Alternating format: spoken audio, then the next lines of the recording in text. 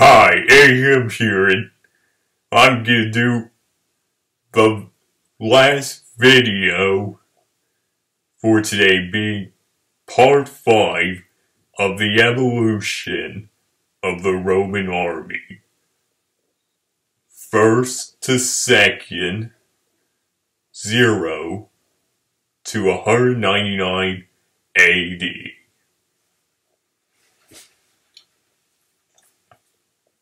So around this time, where we left off, Rome just transitioned from being a republic into an empire, now during the reign of their first emperor Augustus, and now at the height of their power. And now control all, most if not all the Mediterranean.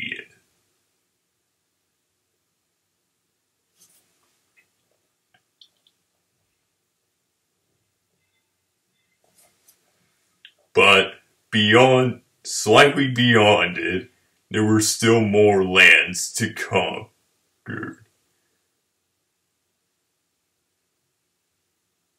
But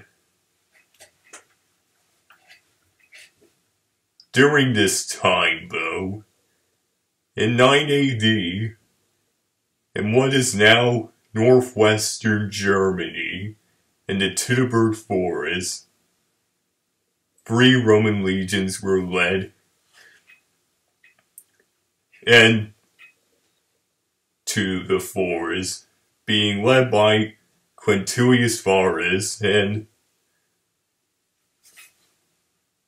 and uh, a commander of the Roman uh, the Germanic auxiliary troops, Arminius. But secretly there was an ambush. And then, only when then, Germanic tribesmen then attack the Roman army and they were unable to use their formations and would be cut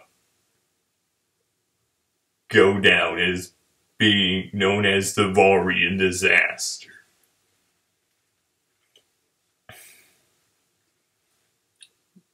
Resulting in three of them, all three Roman legions being destroyed, and only 400 men in the legions escaping. And and soon they retreated behind the Rhine, and Varus's head was taken back to Rome to the Emperor Augustus. And when it was shown to Augustus, he did not take the news well, for he soon shouted, Quintilius Varus, give me back my legions. For clearly Arminius is fellow tribesman, for he was a prince of the Cherusci tribe nearby the Teutoburg forest. And for they have achieved the unthinkable by since they were now now the higher power, but yet they suffered. One of the worst defeats in their history ever since Cannae. And only being taught by that in Carrhae. Carrhae. Before. And, it, and for they never for it never expanded on that large of a scale ever again.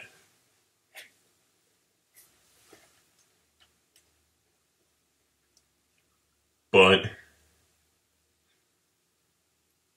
there were still more provinces for them to be for them to conquer. So, like say the East, being in Judea, and on the other side of the empire, Britain. And so, in 33 AD, Jesus, being the year Jesus was supposedly crucified, and then a decade later, they invade Britain again, for it had not been set foot on by the Romans ever since Caesar, but this time they succeeded.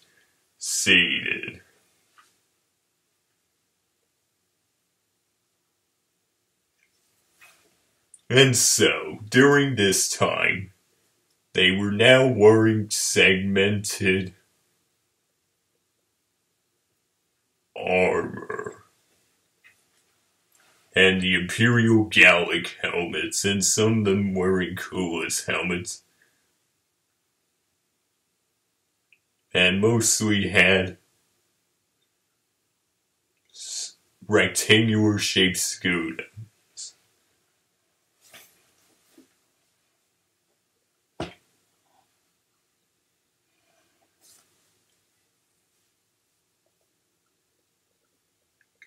And for the Emperor's bodyguards being the Praetorian Guard.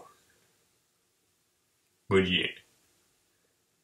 And, and only when, then in 60 AD, the a tribe then sued the Iceni and was now Esagria soon stepped up and revolted under the warrior queen Boudica, and managed to successfully destroy three Roman cities in Britain, but in the end was eventually put down by the army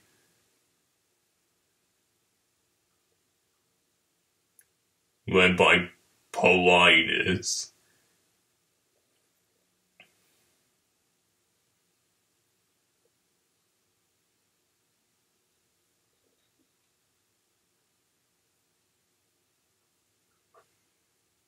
And then shortly afterwards, a new governor was appointed, and then they soon set their sights northward on the island, being was now Caledonia, being was now Scotland, but were called back onto the mainland to fight was now Romania, the Dacian War.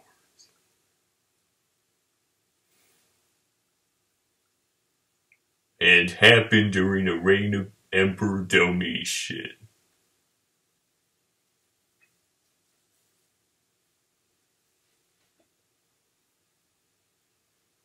And so, and around this time, they done, the Imperial Italic helmet was introduced, basically being the Imperial Gallic, but has bars on the top of the helmet to protect against the blows of such weapons like the falcons that the Dacians had, and they also wore segmented armor on the arms to protect against the slashes, because without it, they can't use their sword.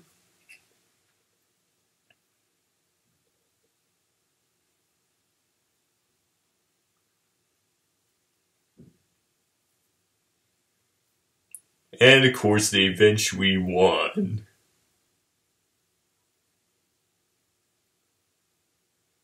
So yeah, this, and then Trajan becomes emperor. And so yeah, around, and starting the age of the good emperor. So yeah. They were still as powerful as ever.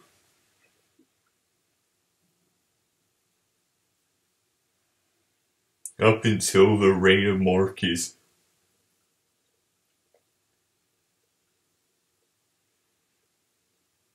Aurelius when he died, and then his son Commodus became emperor.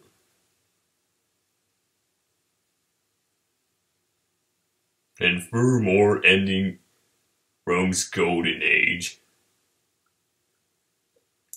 And as in the next episode, it will soon eventually tear itself apart. But anyway, that's all I have for today. I'll be back tomorrow with another video, but from now on, thanks for watching. Leave a like and subscribe to watch more content on this channel every day. But from now on, thanks for watching.